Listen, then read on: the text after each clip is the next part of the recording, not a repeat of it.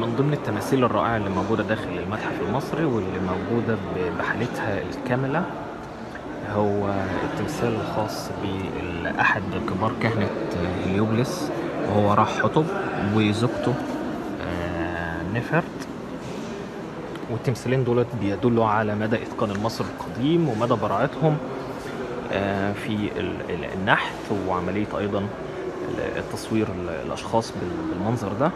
ومعروف إن نفرت بتعني في ال- اللغة المصرية القديمة آه، كلمة آه، الجميلة والتمثالين يعني تحس إن هو طالع منهم كده نوع من أنواع الحيوية.